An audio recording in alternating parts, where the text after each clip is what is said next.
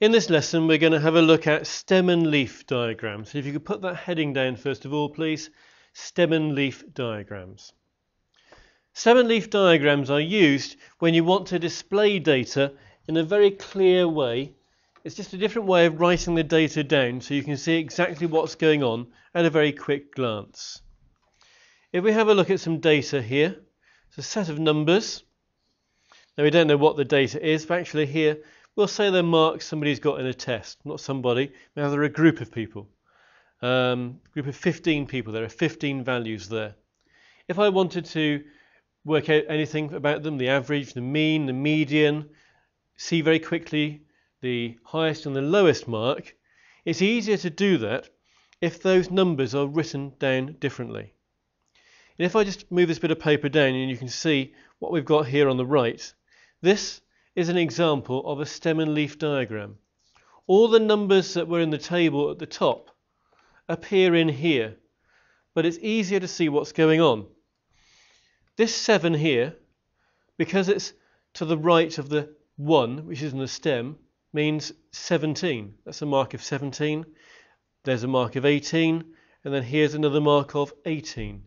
So all you're really doing is putting the stem digit in front of the leaf digit so for example, this 1 here is representing a mark of 41. This 5 here is a mark of 35. And if you put it together in a stem and leaf diagram like this, it's very clear to see the lowest number, the lowest mark was 17, and the highest mark was 42. Now it's even easier to see what's going on if you change it from that stem and leaf diagram into an ordered stem and leaf diagram, which is what we've got down here. Now, if you look at it, you may think, hang on, there's not much difference there. The only difference is this row here, which wasn't written down in order from smallest to biggest, the smallest one was over here, now has been written down in order from smallest to biggest. So what you've got now is an ordered stem and leaf diagram, where everything is ordered from the smallest to the biggest. And it does make some things much easier. For example, if I wanted to find the median Remember the median is the value in the middle.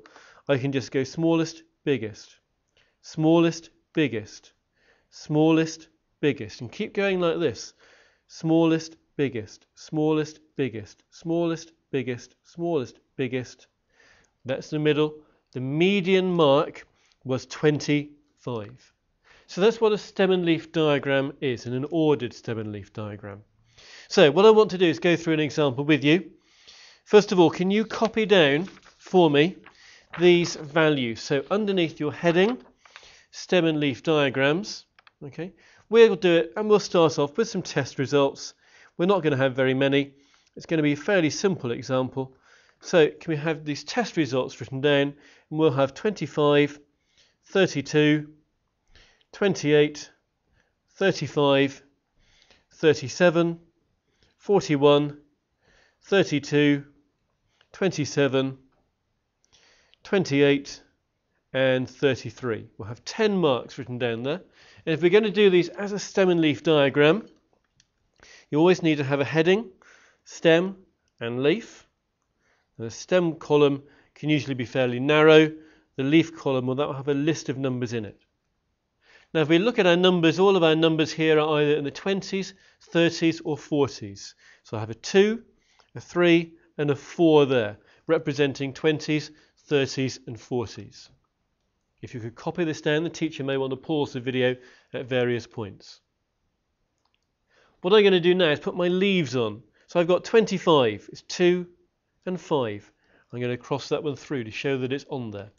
32 is 3 and a 2.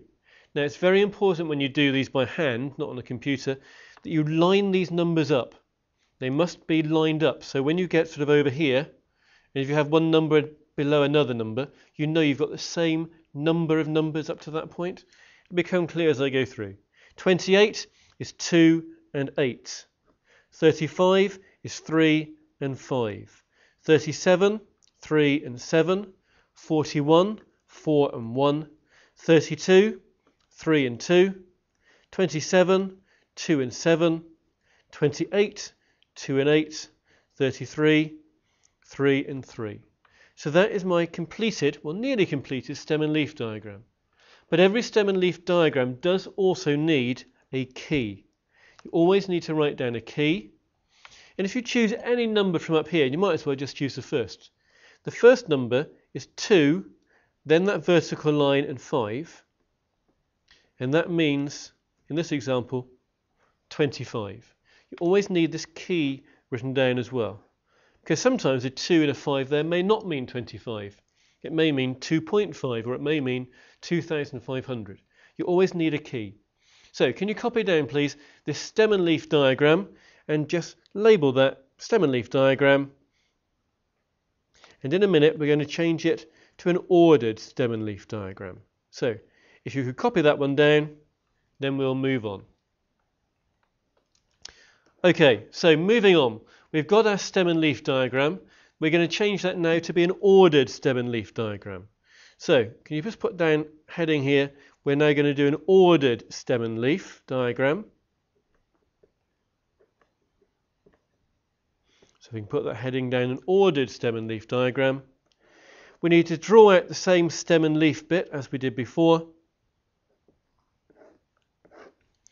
And just like last time, our stem's going to be 2s, 3s and 4s for 20s, 30s and 40s. 40 down there as well. But now we're just going to rewrite these numbers for each row in order. So this row I will write down 5, 7, 8, 8. This row I will write down 2, 2, 3, 5, 7. 2, 2, 3, 5, 7. Make sure you line everything up in the correct column and that's just a 41. Once you've done the ordered stem and leaf, that's when you can go in from each end to find the medians. Up here, if I was trying to cross off the smallest and the biggest, I would have gone smallest, biggest, then, oh, hang on, that's not the smallest. I would have to search through. That's why you usually do these ordered stem and leaves. So, before we go any further, though, we need a key. So we're going to put a key down, and again, 2, line 5 means 25. But from here, we can easily find the median. And we can find the median by going in from both ends crossing values off. Before we do that, can you make sure you've got that complete one drawn down? You may need to pause the video here.